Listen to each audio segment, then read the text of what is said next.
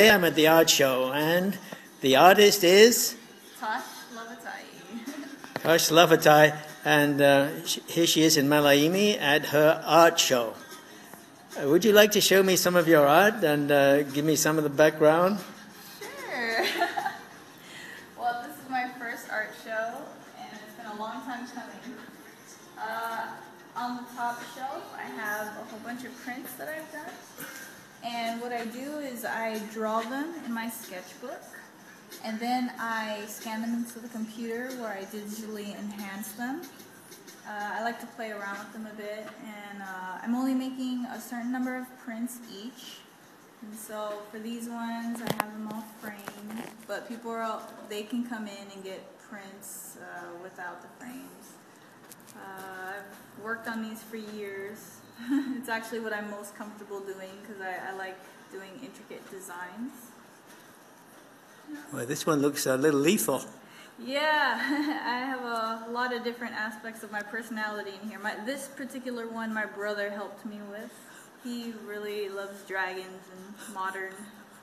And this is actually one of my brothers. It's a photograph of when he first got his tattoo. And uh, that tattoo actually helped inspire me get into Samoan art more and learn the designs. Did you get a tattoo?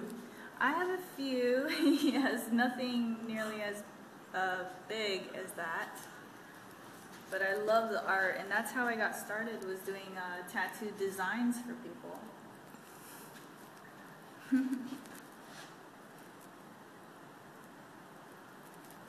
yeah, the heels. I do a few shoes, and uh, most of them are like Converse. These are the first and only heels I've done.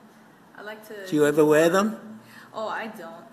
I'm going to say I I wouldn't want to wear anything that high. That's for sure. Yeah, I'm not very good at uh, walking in heels. I like a Converse.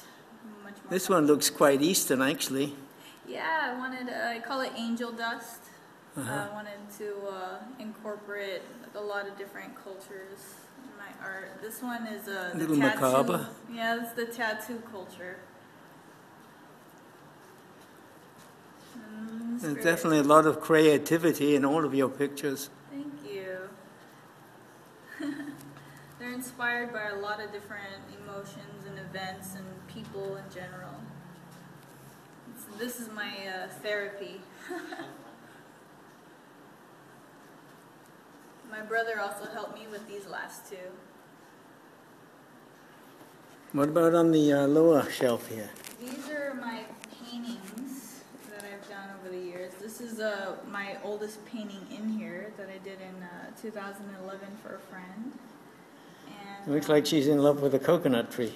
Yeah, I have a few. I my first one I did in college, where a girl was blending into the coconut tree, and so many people loved it. And, uh, I tried making a few like that, and um, yeah, it just kind of evolved from there. I'm still really new to painting. I like doing detailed work, and with paint, it's pretty hard because I'm kind of clumsy with the paintbrush. But where I think I excel is color. I love working with color. It's a it's a big thing for me. You can just tell like the different aspects of my personality, I guess, with each one. Each one has a story. Like the this one's actually a Fili, and because I'm Afakasi, this is the the one to really show both sides of me. You know, I mean, it has all Samoan in it, hmm. and really where you see the dichotomy is in the color and the the difference in the Fili. You know, it braids into itself to create one big piece. Hmm. And you can see the transition from like modern, more modern art and traditional art. And I just, I love the fusion of artistic expression with culture, you know, and not just um, racial culture, because, you know, there's also like the tattoo culture in here, and, you know, like with the dragons, there's fantasy culture. Culture embodies a whole lot of different things you know, like different parts of people's personality. You know, people are multidimensional. And for this, I this is my way of showing those different sides of my So, how long is your art show going to be going on for?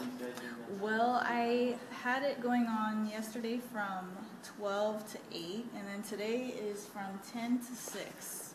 And then hopefully, maybe next year, I'll come back and doing a on a bigger scale because I really just advertise this on Facebook and word of mouth.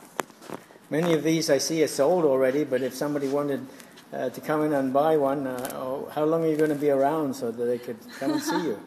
I actually leave next Thursday. I have uh, I have to get back to Arizona, where I have a booth set up for the Aloha Festival, and I'll be selling some stuff up there. So, yep, it's just go go go. Hopefully, I'll. I'd like to come back. I am doing commission work, but you know I am leaving Thursday. I would love to come back and, you know, like I said, do an art show on a grander scale and maybe collaborate with some other young artists. Because I know that there's so many voices on this island who just have no way of knowing how to get their work out there or their voices heard. And if I could help them with that, that would be great. Because it took a lot for me just to put this together. It's always been so personal. Well, next time maybe we could help you. Put a, put a little ad on PCTV letting people know you're coming and you want to help them with the progress in, in the art world. That would be great. I would love that.